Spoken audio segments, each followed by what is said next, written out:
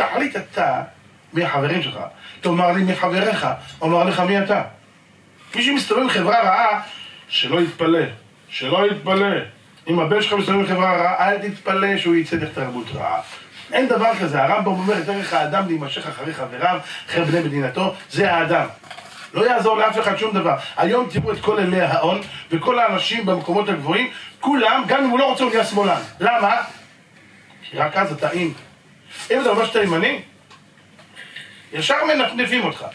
היום כדי להיות מה שנקרא מישהו, somebody, אה? להיות איש, להיות מן, הלו, אתה יודע מה אתה צריך להיות? שמאלן!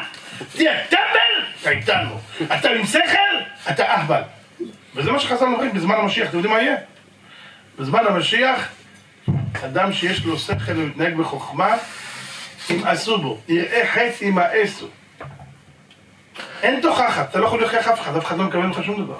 אפילו אתה מוכיח לו שחור על גבי לבן, הנה! לא, לא, לא, לא, אתה לא הבנת אותו. הדברים יצאו מהקשרם. איזה הקשרם? אתה עומד פה מול אויב מר ואכזר. מכרו לנו תותים, שיקרו אותנו שנים, והם עדיין אוחזים במעשה אבותיהם בידיהם, עדיין באותן שטויות. די, הנה, אני מול העיניים שלכם, תראו מה שקרה. די, תרדו מזה. זה לא, זה לא אמיתי מה שקורה כאן.